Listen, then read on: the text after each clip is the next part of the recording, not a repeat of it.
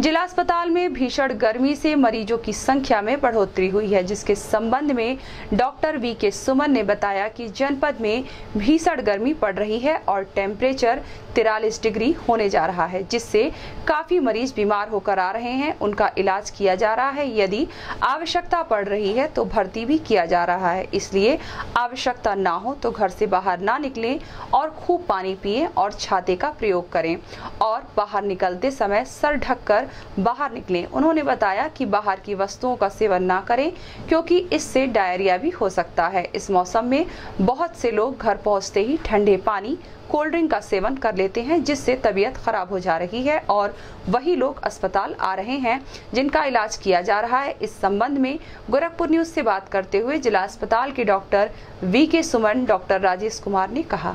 इस बदलते मौसम में जो भीषण गर्मी पड़ रही है, जिसका जब अभी तापक्रम जो है 43, 44 डिग्री सेल्सियस पहुँचा हुआ है। इसमें आम जनता काफ़ी प्रभावित हो रही है और इससे बचने का उपाय है कि आराम से घर से बाहर मत निकलिए।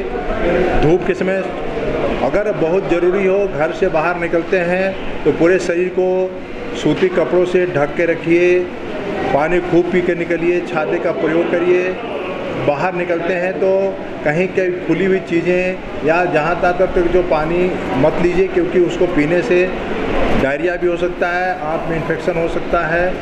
और खुली हुई चीज़ों को खाने से भी आदमी संक्रमित हो सकता है, उल्टी दस्त हो सकता है बुखार और इस मौसम में काफ़ी लोग ये गलती करते हैं कि धूप से घर पहुँचते हैं, ठंडे पानी, कोल्ड ड्रिंक, आइसक्रीम वगैरह का सेवन कर लेते हैं, जिससे परहेज करना चाहिए, इसको नहीं लेना चाहिए।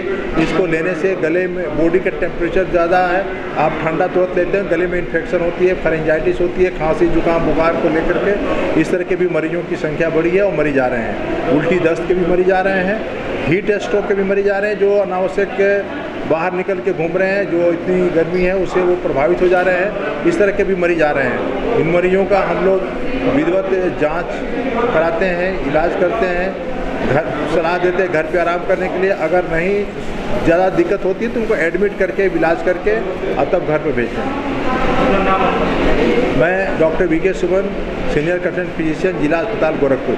इसमें तापमान काफ़ी ऊपर चल रहा है बयालीस से तैंतालीस के बीच में पहुँच जा रहा है जिसके वजह से डिहाइड्रेशन के मरीज़ स्ट्रोक के भी पेशेंट आ रहे हैं और पीठ दर्द उल्टी के भी मरीजों की संख्या बढ़ गई है। सर बचाव के लिए क्या करना चाहिए? बचाव के लिए है कि जब भी घर से बाहर निकलें पानी पी करके निकलें यदि संभव है तो साथ में पानी रखें और छाते का प्रयोग करें और पूरे बदन को ढक के रखें। यदि दूर कहीं जा रहे हैं तो मौका मिले तो छाए में कहीं खड़ा होकर के अपने आप को शीतल भी कर लें। लेकिन अनावश्यक रूप से घर से बाहर न निकलें क्योंकि इस समय पूरा तापमान तेज चल रहा है। खान पान में क्या खान पान में बासी भोजन का सेवन बिल्कुल ना करें। ताज़ा भोजन जो मिले घर का वो खाएँ। बाहर का भोजन ना करें। बाहर का भोजन करने से अक्सर ये देखा जा रहा है कि मरीजों को पेट दर्द, उल्टी की शिकायत हो जा रही है, क्योंकि तापमान बढ़ने की वजह से खाना की अम्लता बढ़ जाती है, जो बना हुआ खाना है वो विषाक्त हो जाता है। उसका पुनः यदि आप सेवन करते हैं तो वही खाना आपके लिए फ़ूड पॉइजनिंग का भी कारण बन सकता है। तो यही सुझाव है कि बासी भोजन न करें और दुकान में जो अगल बगल में ठेला या जो लगा के रखते हैं, उसका तो खाना बिल्कुल ही ना खाएँ, क्योंकि वो खाना जो है खुले में रहता है।